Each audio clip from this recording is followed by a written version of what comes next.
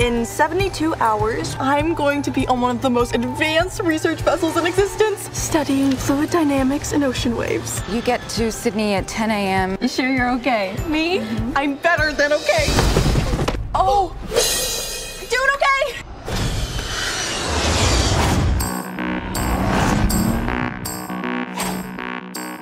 What is this?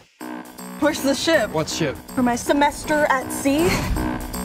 Oh, you're not in the right place. This is a soccer academy. What? No! There has to be a way. You're gonna need to let that go. But I don't play soccer. Correction, you didn't play soccer.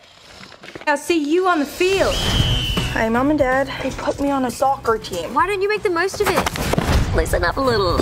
That's the spirit! How's soccer camp treating you? Not quite so great. Who was that? That was Queenie.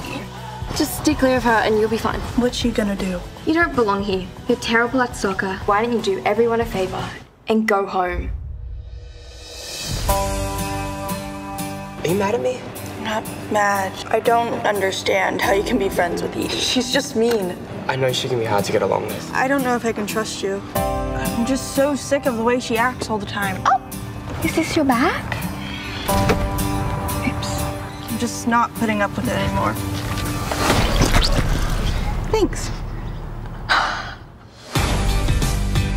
All right, give it all you got. Let's go. Boys choose girls, girls choose boys. Corey, Are you sure you meant to pick me? why wouldn't I? Just a few weeks ago, you were just a science brain at a soccer camp. You've come so far. But every day is a chance to be someone you weren't yesterday.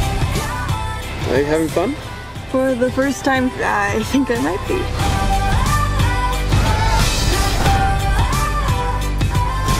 This is when all of our hard work comes together and we show everyone that we are champions. One, two, three!